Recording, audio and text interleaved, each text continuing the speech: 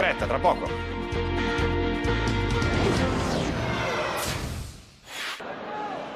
Nell'anticipo del venerdì vince il Padova 1-0. Basta alla squadra di dal canto questo colpo di testa di Trevor Trevisan. La risposta del Brescia arriva in trasferta sul campo di Castellammare di Stabia al 36esimo. Il cross di Jonatas sembra innocuo, si trasforma nell'assist per il gol di Fecesin. Terzo gol in campionato, vittoria del Brescia.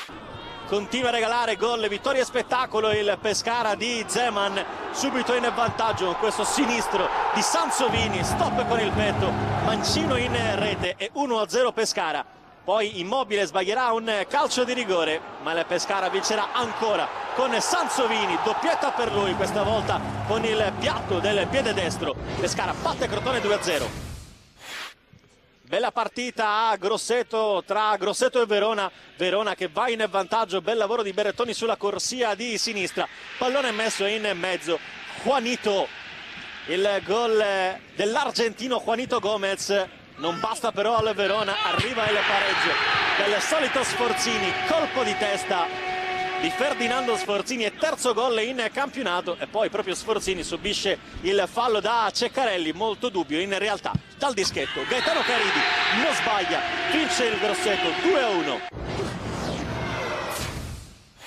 Altra rimonta quella della Regina che però va sotto sul campo del Gubbio Bazzoffia il tocco diventa un assist per Ettore Mendicino.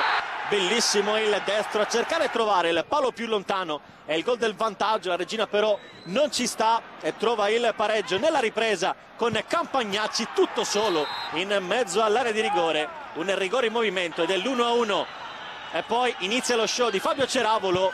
Il primo tiro la parata di Donnarumma la respinta ancora di Ceravolo per il gol del vantaggio.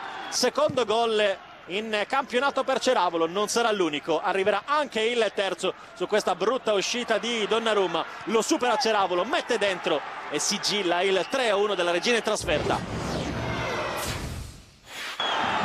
Bel match anche tra Nocerina e Ascoli. Gran tifo sugli spalti. Rimane però deluso il pubblico di Nocera perché il gol decisivo è quello di Papa Vaigo ma la Nocerina è stato annullato un gol clamorosamente valido di Negro vince il Sassuolo contro il Cittadella l'1-0 su questo clamoroso errore di Sansone. Arriva poi il tocco decisivo di Marchi in posizione regolare. Sansone poi subisce questo fallo e dal dischetto con il sinistro trasforma il gol del 2-0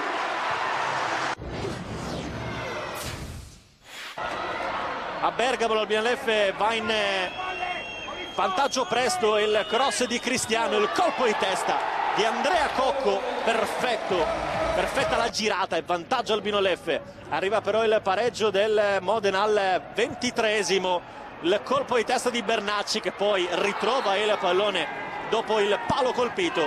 Ritorna al gol Bernacci, gol che mancava dal 30 maggio 2010, ma poi arriva anche il gol decisivo dell'Albino Leffe, ancora di Andrea Cocco, quarto gol in quattro giornate, vince Albino Leffe 2-1.